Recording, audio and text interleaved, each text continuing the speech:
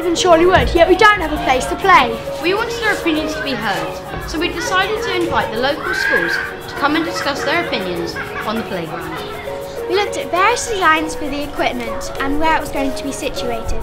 We also looked at the pros and cons of having a playground on the Chorleywood Common. In January, Arnett Hills, Chorleywood Primary and the Russell School came to our school to discuss their views on the playground.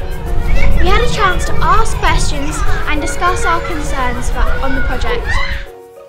I think it's good because people can like instead of just driving to playgrounds a long way away, they can just like walk and get exercise. I also think that it'll just make the common a lot more exciting than just having like a lot of grass.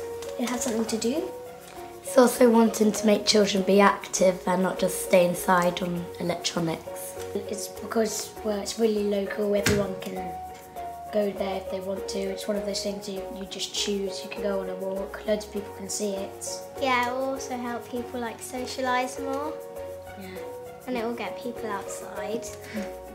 I think like when you play on your phones and, and games, um, you talk to your friends, but on your phone, maybe you should go to the park and meet face to face. It's a good location because the location, nothing really happens there, but by putting a park in there, that would be good.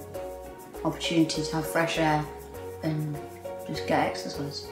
They're putting a zebra crossing there, so disabled people and people with buggies will be able to go. They're trying to make it as safe as they can. Yeah. They try to make it like everyone can go there. Could be uh, beneficial for everyone, even if they don't play um, on the equipment.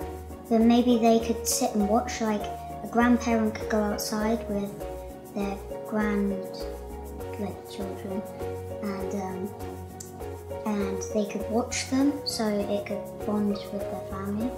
And there's things like a hammock, one of those. Um, there's a thing like a swing. It's not exactly a swing. Yeah, and, and there's like stepping Yeah. stones, and their parents can help them walk. And they've and also got like wooden benches for people to sit down.